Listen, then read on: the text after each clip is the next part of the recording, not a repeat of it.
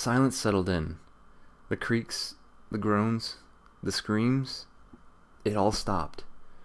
And the quiet seemed to weigh heavier with every passing second as I sat there coddling my slashed foot. Nothing moved in the shadows, nothing malicious, cryptic, or compelling, nothing beckoning. The air remained still, and an eerie sense of an ominous something's patient amusement surrounded me, suffocating me. Whether a terrible fever dream or some twisted perversion of reality, the nightmare around me obviously had no intention of progressing until I made the next move. It, whatever it was, had grown tired of prodding and provoking, deciding instead to stand back and observe the effects of my torment. It wanted to see what I would do next. How would I cope with such a hopeless predicament? Or if I would simply break.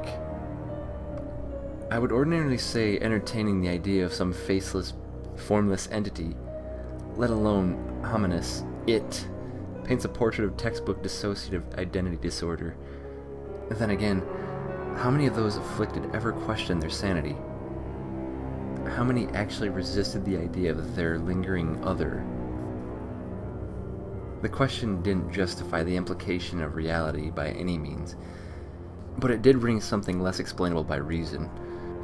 My fever was getting worse, and the pain in my foot was spreading, becoming a threatening numbness. Combined with my hunger, I wasn't going to last very long. I didn't like the idea of entertaining it at any expense, but I had to do something. I had to take care of the sickness if I wanted to survive. And the first aid kit in the emergency storage didn't have what I needed.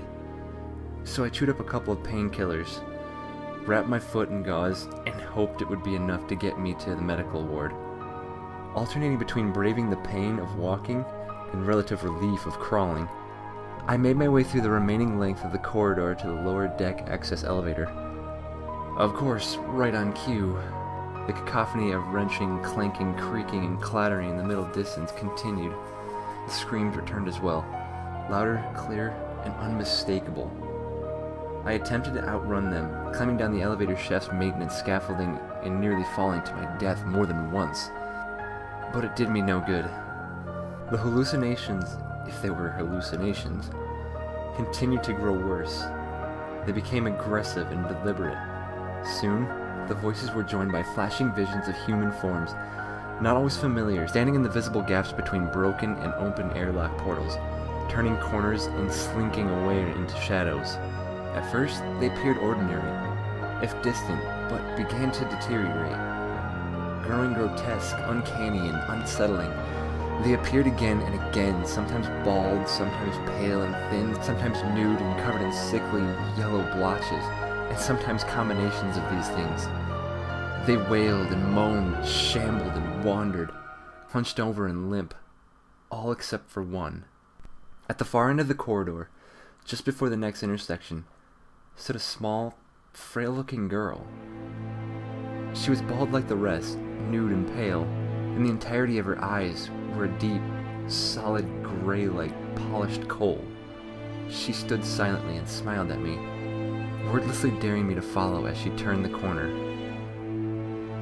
I heard her playful giggle echo from the walls. I was terrified, but I had come too far to turn back.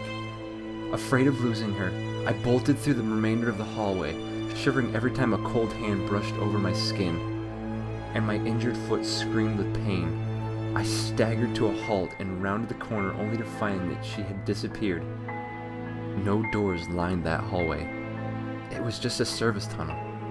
Yet, I found myself staring into over 100 meters of empty space, the last sound of her laughter still ringing at the far end.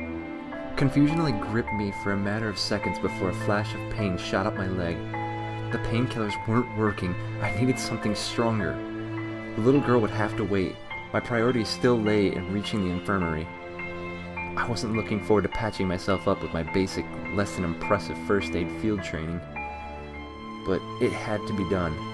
My compromised immune system wouldn't let me put it off for much longer.